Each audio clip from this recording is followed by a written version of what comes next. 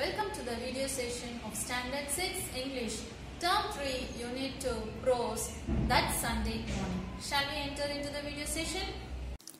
Hello children, welcome to the video session of Standard 6, Term 3, Unit 2, Prose, that Sunday morning.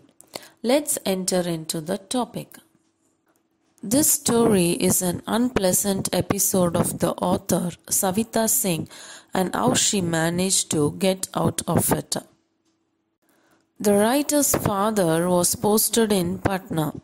On the first Sunday, she and her brother decided to go cycling in the morning. As it was very early in the morning, only a few people were on the roads. The roads with the trees lining them were good and shady. There were no grand buildings or monuments in Delhi. After cycling for about half an hour, her brother got bored and challenged his sister for a cycle race. And the loser should treat the other with a chocolate.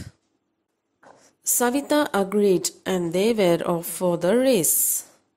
That was not the first time they had raced. Usually, a brother would win and boasted about it for days. But Savita Singh was determined to win this race. She pedaled as fast as she could. Her legs hatched and her skirt was spread out, wanting to hit her face. She was breathing fast and couldn't see anything clearly. Soon she, she drew level with her brother and then gradually she moved ahead. As Savita was ahead of her brother, she could see the comer in a cloudy form. She was about to shout with joy. Just then she saw a cow that stood in the middle of the road. She applied the brakes suddenly but was thrown off the cycle. She landed onto the back of the cow.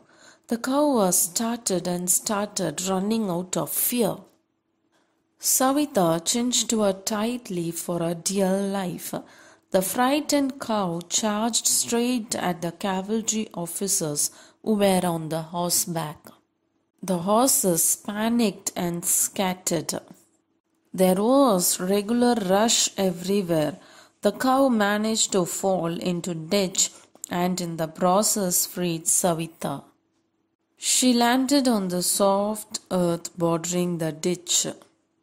Savita sat up with pain. The cavalry horses were still out of control. Some of them were running madly in circles. Their riders tried to bring them under control. Two horses were not seen anywhere, and another horse threw its rider right in front of the narrator's eyes. He landed in the ditch just next to the cow. The cow thought it was another attack and lowered its head at the unlucky man. The poor man climbed hurriedly out of the ditch, tearing his pants at an awkward place. Realizing its pants being torn, he sat on the road with a thump. A brother approached her and commented that she looked such a sight on top of that cow. He started laughing and asked her whether she was all right. She did not want to admit to her brother that she was frightened.